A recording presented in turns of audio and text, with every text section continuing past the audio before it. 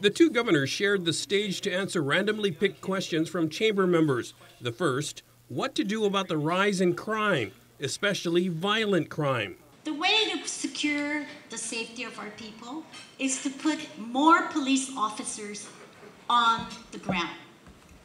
That is why Josh and I raised the salaries the first time in decades for our law enforcement.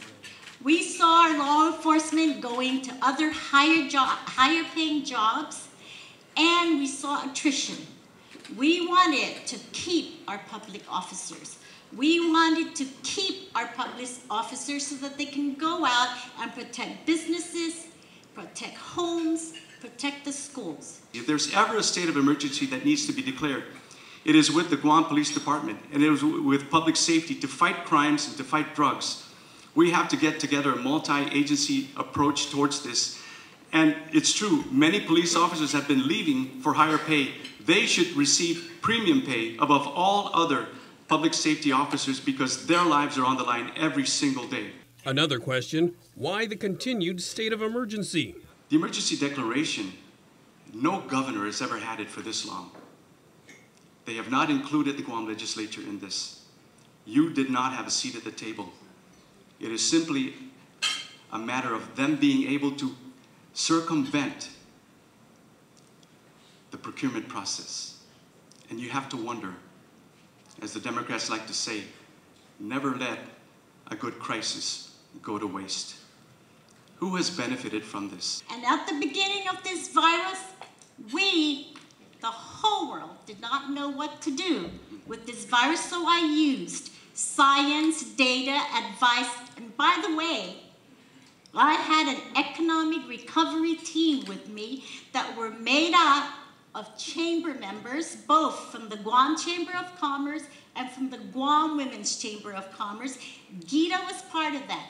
So yes, I worked with the private sector because I know the importance and the impact it makes to you. They were also asked about how to help struggling families with a high cost of living, but the responses digressed and were more telling of the fundamental differences, perhaps, in their personal and political philosophies. It's so interesting that her pet response is, I'm going to give you more money. You see, what's happened is we have created, she has created a, a society now where people are dependent on big government.